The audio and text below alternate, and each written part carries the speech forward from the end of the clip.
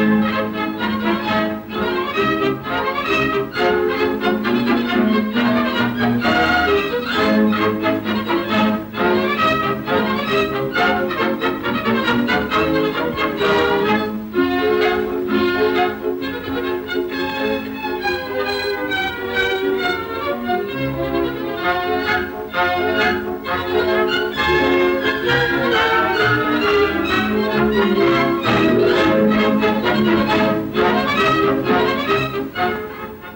Proper motive power work in the depot is an important feature of operating efficiency.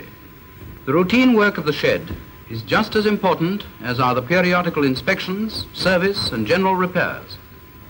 On the work of the shed depends to a very large extent the successful running of the engine, and lack of care may lead to complications of the most far-reaching character. Every train to time on every day of the week cannot be successfully achieved without the wholehearted cooperation of the men of the motive power depots.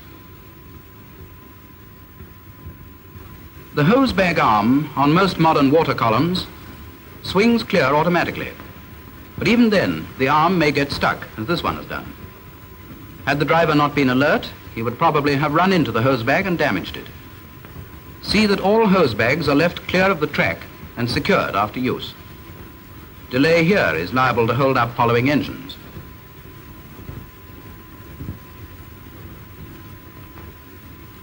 Unlike this one, the engine should be set so that the hose bag is central over the hole in the tender. Otherwise, it'll probably fly out.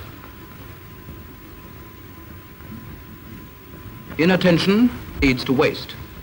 Watch this incident associated with watering an engine.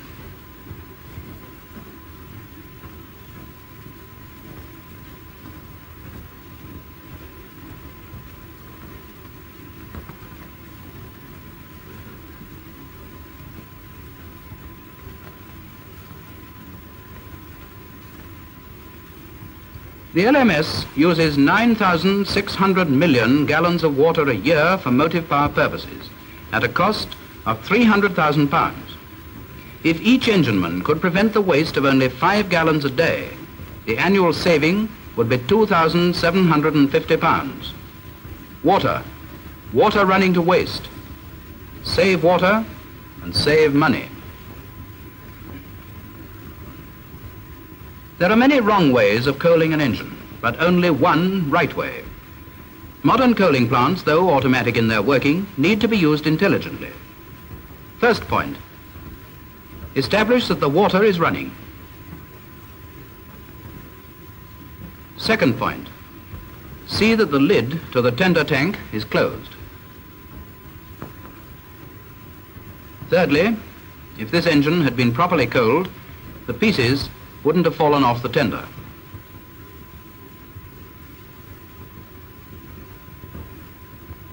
This is the right way of coaling an engine. Resist the temptation to put on that last 10 hundredweight.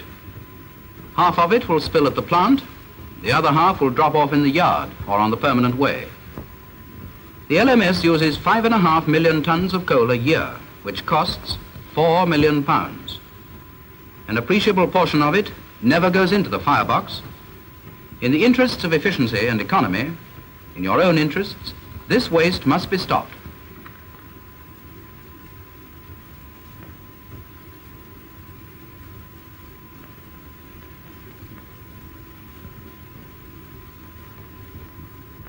Wrong methods of coaling may have serious consequences. A piece of coal may fall from the tender a hundred times without doing any damage.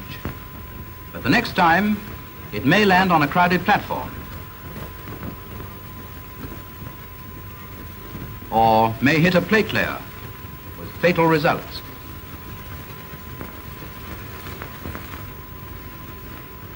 From the coaling plant to the ash pits. Proper regulation should ensure that both pits, where there are two, are used to advantage.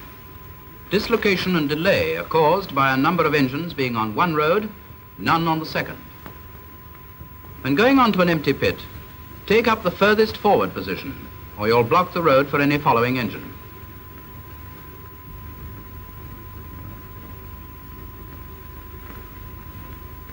Now the fireman of the first engine can get on with the job of clearing the smokebox ashes. On most ash lifting plants, the skip drops automatically to the bottom of the chute. But some plants are not automatic, and the skip may be left at the top. Cases have occurred where ashes have been thrown down the chute when the skip has not been there. Then the chute has to be emptied by hand. More wasted labor.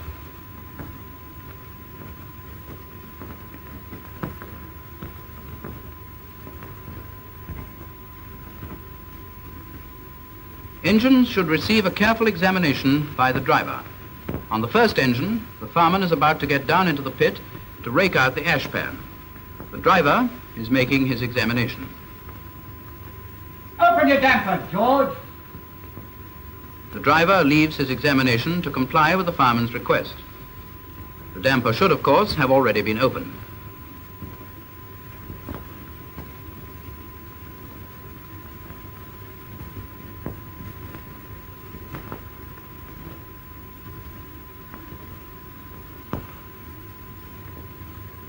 Returning, the driver resumes his examination at a different point from the one at which he left, so that he misses entirely the broken brake block on the rear driving wheel.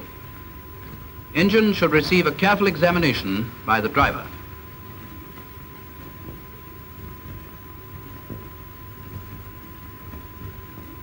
The fireman sees that the ashes in the ash pan are properly slaked. The ashes fall cleanly with a plop and there's very little dust.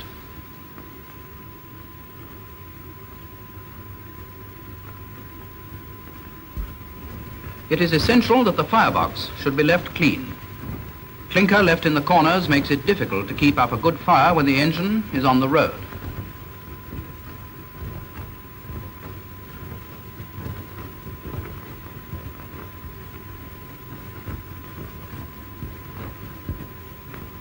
Have you ever had this happen to you? Thought so. The fireman slogs away in an effort to keep up the pressure, all to no avail. Pressure falls, the engine loses time, and the arrival indicator board shows the result. Not too good, is it?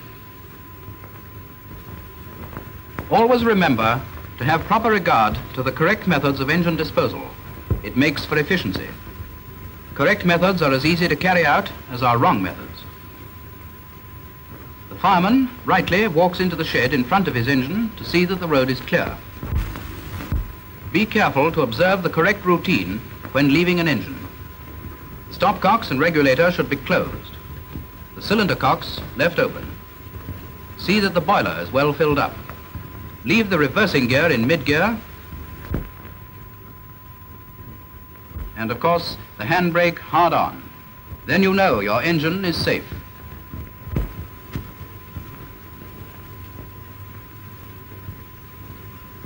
On the way to book off, the fireman hands in his tools. Dirty. Yes, we thought so too by the untidy look of the bucket. Still, all the tools apparently are there. But it's the fireman's job to clean his tools, not the store's issuers.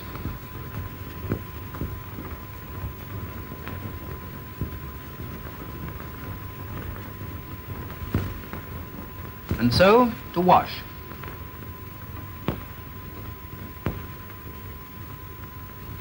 Here, have a heart. I said wash. Misuse of materials leads to waste. What would your wife say to this? Proper motive power work in the depot is an important feature of operating efficiency. Every train to time on every day of the week cannot be successfully achieved without the wholehearted cooperation of the men of the motive power depots.